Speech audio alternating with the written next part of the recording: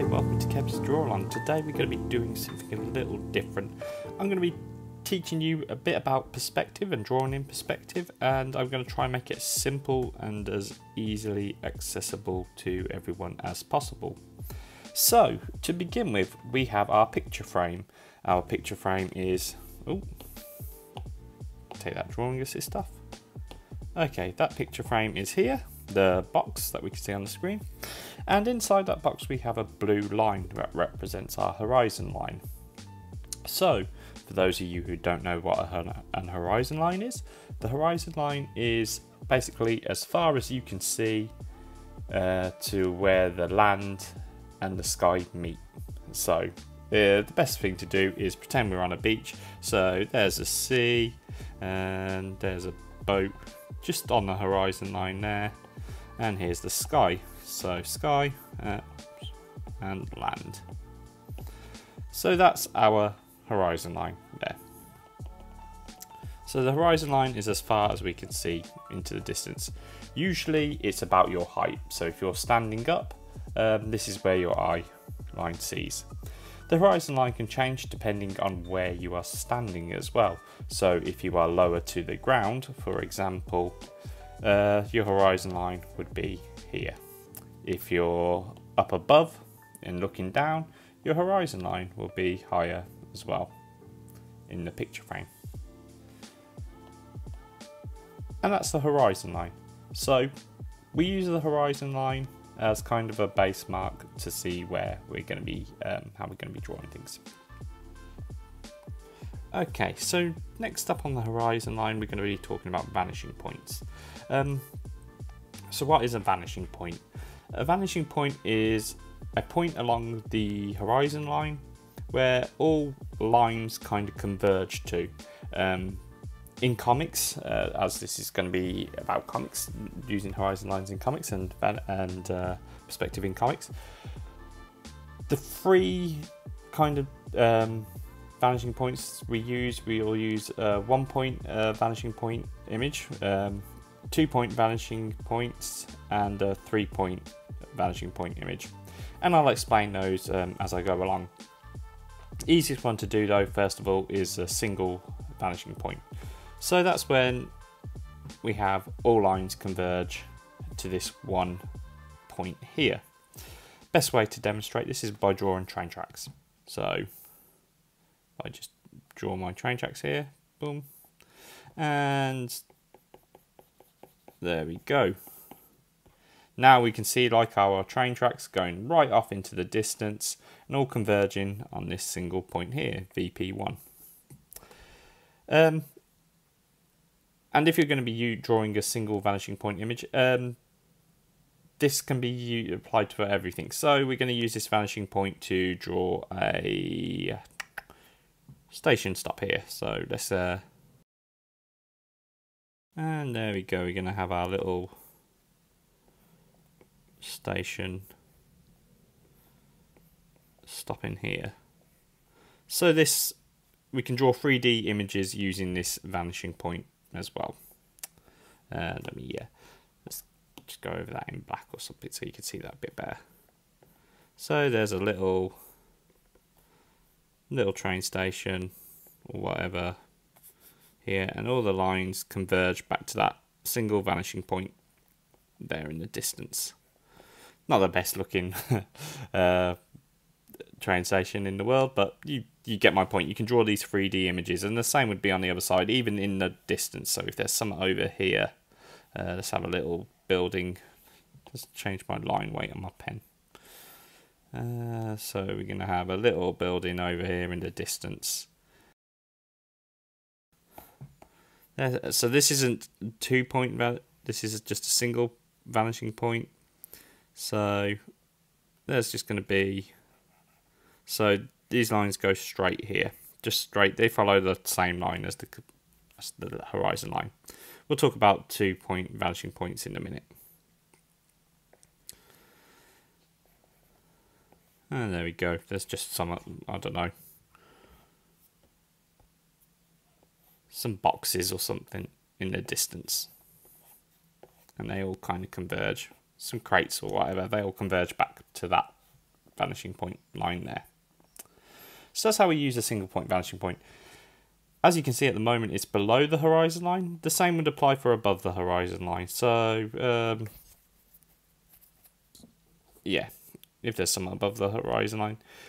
We use these one point vanishing point kind of to convey speed. So if you're drawing the flash running, um, this is kind of one of the best uh, vanishing points to use. But let's say there's a let's say there's a plane flying in the sky, and it the plane still converges back to that one point that one vanishing point. There's a helicopter as well. Not the best helicopter in the world, but yeah. Just a proof point. So they're all kind of converging back on that vanishing point. This adds speed to an image. Next up, we're going to use two point vanishing point. So two vanishing point is where there's two vanishing points on your uh, horizon line. So we got VP1 and VP2. And all lines converge back to these vanishing points. So let's just scribble out some lines. And I'll do some, actually let's change the colour for the other side. Oh, and we're going to go up as well. Right, there we go. Got two, uh, a two point image. And I'm going to go in with, uh, I don't know, just go blue, dark blue. And we're going to draw a building. So this time all lines will converge back to either one of these vanishing points. So if I draw a line straight down here, this side of the building will converge back to this line and this side of the building will converge back to this vanishing point and the same as above. And there we go. You can see now we can build like a little street or something here as well. So even on this side here, this line here will still go back to here, so just follow that to there, that to there, same here. And we go here. And that's going to go back to that vanishing point there. Yep. And same again. And that's how we kind of build, start building our images in with these vanishing points. Lastly, I spoke about there being a third vanishing point and the third, third vanishing point could be anywhere on the image. Uh, so we're going to have that VP, what, ooh, open layers first.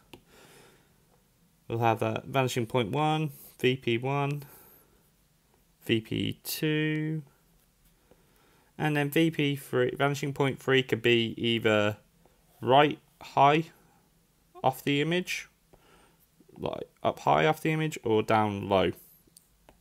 So I'm going to have vanishing point kind of right up past right off the paper. So VP3 is going to be right up there. So it's going to come down like this. So we're looking up at an image. So say we're looking, we're drawing comics. We're going to be looking up at a building. And again, we got these vanishing points from vanishing point 1 and 2 uh, like so. So it's a bit more difficult. And there we go. And we'll draw in a building. Again, so we're kind of looking up at it. So we're following three different vanishing points. So as we're looking up at it, we're going to follow vanishing point three. There we go. And then on the sides of the uh, building that we're looking up at, so the windows will be going back along here, still following those vanishing that third vanishing point line there, and uh, going back to vanishing point two, vanishing point one, sorry, and the same on the other side. We're to follow the vanishing point lines. See, I messed that up there. Back to vanishing point two. These are extremely rough drawings just to show you the point. And vanishing point 3 can change. So if we're looking down on an image, we'll flip the image over and now we're looking down on it. So now we got, say, here's where the roof is. And those follow those vanishing point lines again.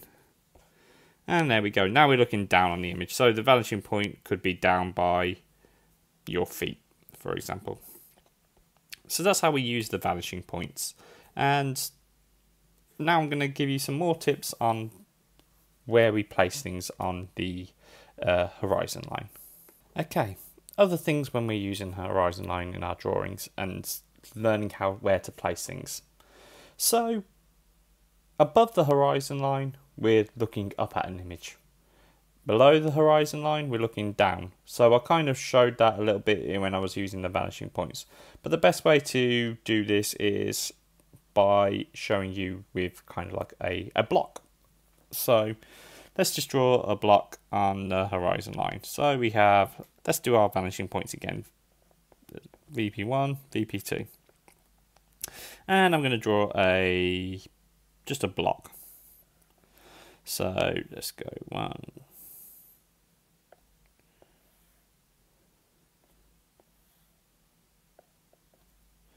There we go, and let's, let's just change that colour in. So, actually that's a bit, it's not quite correct, but we have our block. There we go.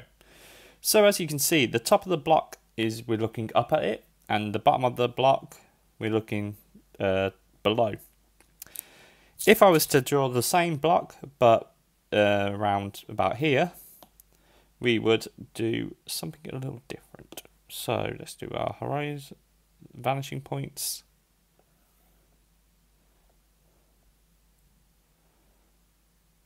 Uh, vanishing points again. And uh, actually, I'm going to need more vanishing points because I'm going to need that line underneath. We're looking down on it now. So these are going to come off the picture frame a bit. Let me change the colour again. So as you can see now, we're looking down at that block.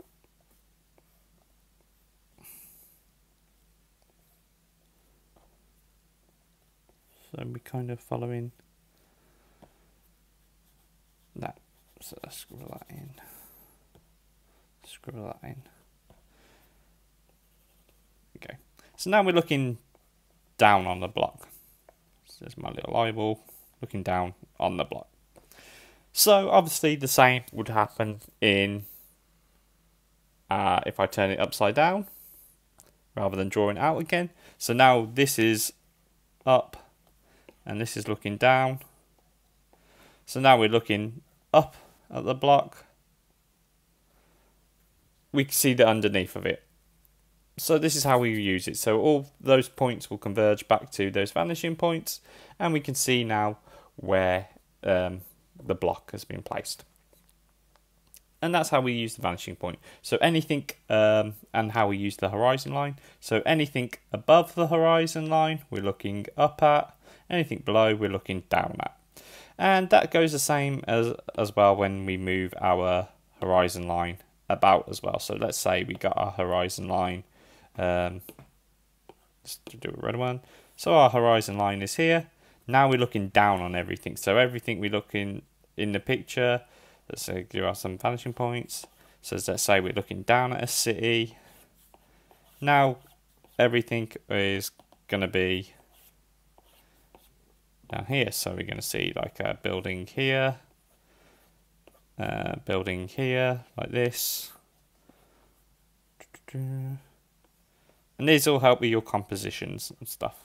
So there we go. And then if we were to look up at the image, so let's say if we're on the floor, now we're going to be looking up at everything. So let's do again those horizon lines those uh, sorry those guidelines very roughly drawn now we're looking everything in the image we are looking up at.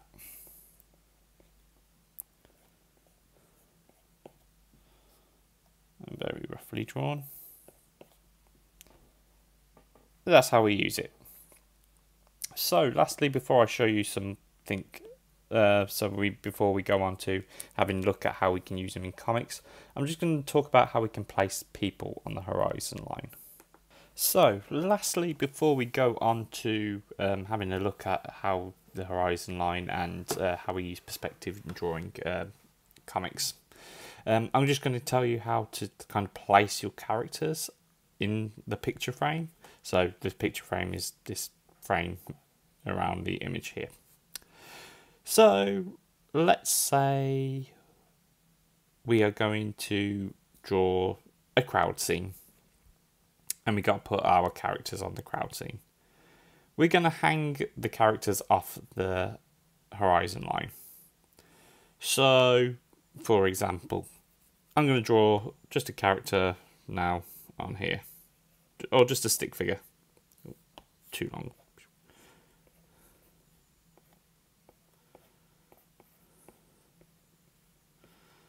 There we go. We have our character in our image. And as you can see, the horizon line is going through kind of like uh, where their belly would be. So I want to draw a crowd scene. I want to draw several people in the scene. And I want them all to be roughly the same height. So let's say, uh, what's the average height? Uh, about five foot seven, um, five foot eight, uh, five foot nine. Um, I don't know. Let's say they're all five foot nine. And so we got this character who's now this stick figure is our like kind of base figure. They're, they're the average height for this scene. So I want someone off in the distance. So I'm going to make sure their belly is kind of on that horizon line. So now that character is the same height as this character. And if I'm going to have someone closer to the scene, like kind of right in my eye line, uh, so their head's kind of coming off the panel here. And there we go.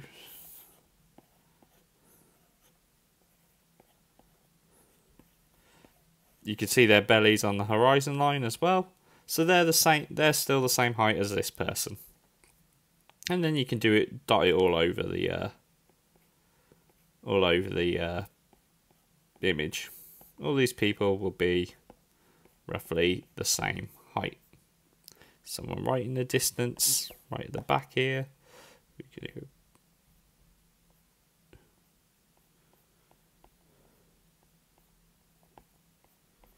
There we go. They're all kind of the same distance. They're this is good if you want to draw like a zombie scene or something like that.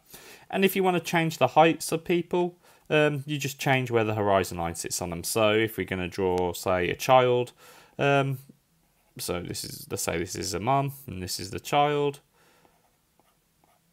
Because the child isn't even on the horizon line doesn't even hang off the horizon line. So we know they're shorter. And again we can do someone in the back who's really tall. Uh, so they're stood next to this person here. And they are so their hips on the horizon line. So now we can change the heights of characters and we know we have that base of where they are. So we know that person's a lot taller, this person's a lot taller than this person here. And that's how we do that. We can also change where people sit. So this can also change um, depending where we put the horizon line. So let's have the horizon line. Uh, let me get my blue. Let me switch this off. Actually, you know what? I'm not using this again afterwards. Let's move that horizon line up to about here. So now we're going to have every character's kind of head uh, sit, hang off the horizon line. So there we go. So now we're kind of looking down on people a bit more.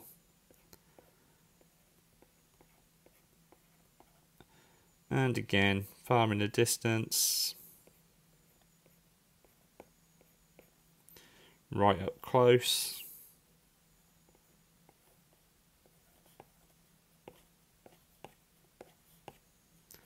And about midway. So just a bit further back. This character is just a bit further back than that character. And again, we can do it if we want the char- certain characters to be shorter. So we'll have like a like a child character here, or we'll have a very tall person, kind of just at the back. They're very tall because their their heads over the horizon line, and they're about the same. They're on about the same plane as these people here. And again, that's how we can do that. And we can flip it one more time and let's have the horizon line right at the bottom of our image. And let's say um, we'll draw our character and just draw them from the bottom up actually. Because we want to say like everyone's ankles. So we're lying on the floor uh, looking up at people. So uh, there's a character right in the distance over here. There's a character right up close, so we can see their foot is right there.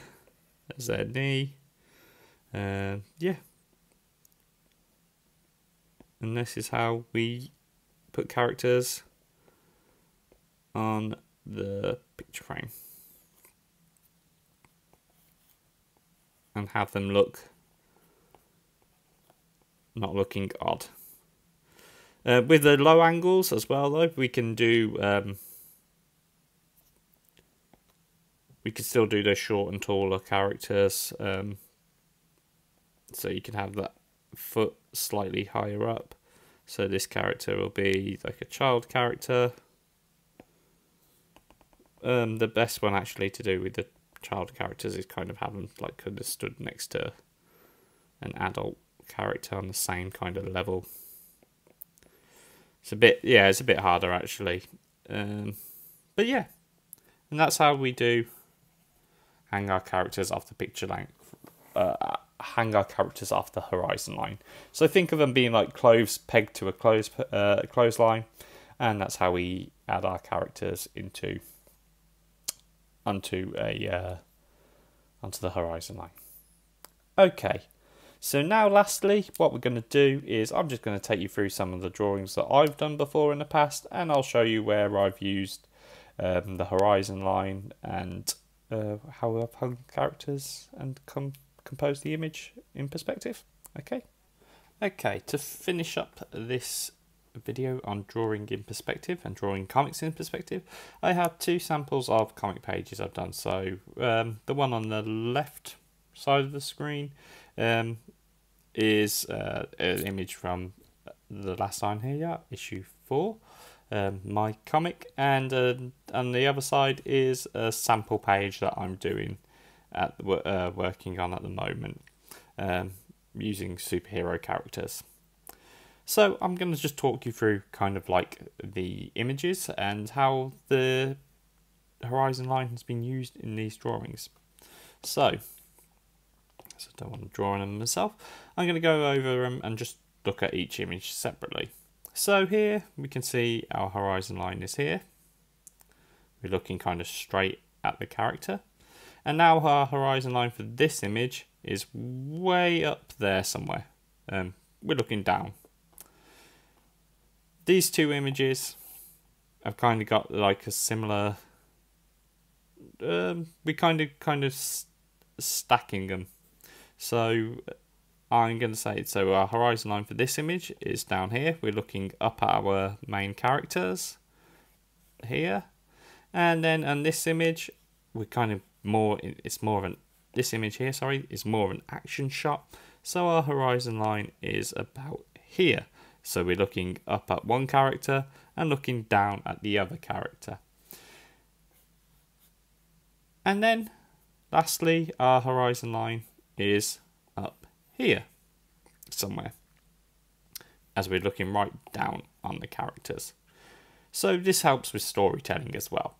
Um, the way I've chosen to we we start off looking up at our hero and then we finish the scene looking down at our hero and it adds some fluidity to your storytelling as well um, also adds to how we kind of um, feel in the scene. We're looking up at the character to begin with, then with the character, we get this kind of determined shot, and then the character is kind of overwhelmed. So where we place the horizon line helps us think, um, helps us tell the story of the the, the what you're trying to tell.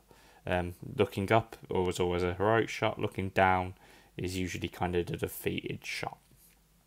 So that's how I used it in my comic. Recently, I've been working on these sample pages, and again, I've used a bit more different kind of um, vanishing points and stuff, and uh, different placements of the horizon line. So this top image here, I've used my I have a low horizon line. The horizon line for this image is about here. And I've used three point perspective. So I have my third point is way up the top and VP 1 and 2 is one's right over here and the other's right over there. So that's I've used that as well. And we kind of again we're looking up at our characters looking up at our heroes, making them bigger than life. And there's a lot going on in this image as well, as you can see. Um, and using having a grasp on perspective helps when we place our characters, especially if you're going to have flying characters and stuff. So we got Thor fighting a mind, uh, mindless one here. Uh, Captain Marvel in the back, so we're still looking up at her, but she's still there below Doctor Strange, who's the main uh, main character in this image. This one, we're kind of looking at Loki at eye level. Same with Doctor Strange, we were eye level. Here, my value, my horizon line's a bit lower as well. And lastly, we have this image, and our horizon line is kind of up here somewhere. So you, as you can see, these lines converge back onto a, a higher horizon line.